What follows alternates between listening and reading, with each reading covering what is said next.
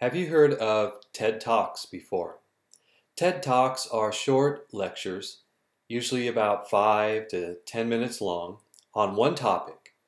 They are produced by uh, TED Conferences LLC, which is an American media organization that posts these talks online for free under the slogan Ideas Worth Spreading. I like to do a series of short TED Talks on different topics that might be useful to you. Speaking is a powerful way to communicate. The first TED Talk I want to do is on the topic of trust. Social distancing is becoming a bigger plague than the COVID 19 coronavirus. I feel uneasy now leaving the property of the church and venturing out to the post office or the grocery store. This unease has been planted in my mind because of the fear of getting this terrible virus, even though there are only just a few cases on the entire island of Guam, 145 out of a population of 170,000 people. With just a little math, that comes out to 0.08%, very small. Yet we have been warned in the media about the deadliness of the virus, and this has brought about a fear of other people you can just see it. You know, do you feel it when you go into the store or wherever you might be going, and you just have this sense, okay, does that person have the virus? This fear has led many people to mistrust other people. You can see it in people's eyes. The unstated question is, keep away from me. you might have the virus. I don't want to get close to you.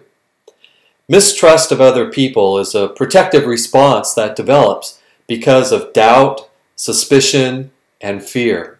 We look at others as potential threats to our health.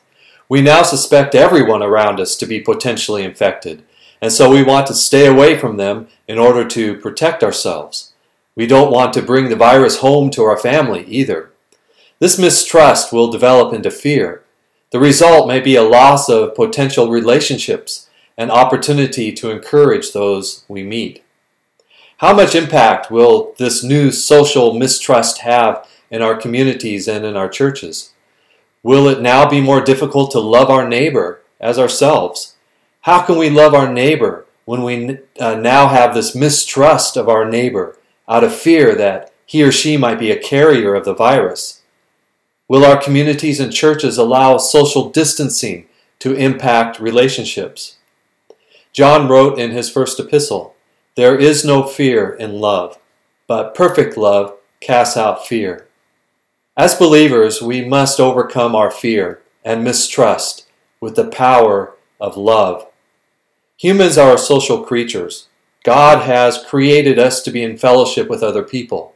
How can we be bridge builders of relationships during a time like this? The first step we can take is to entrust our lives to God because if God is in control of our lives, we should have no fear of the outcome of our lives. Perfect love comes from a life that has been sanctified completely by God and to God.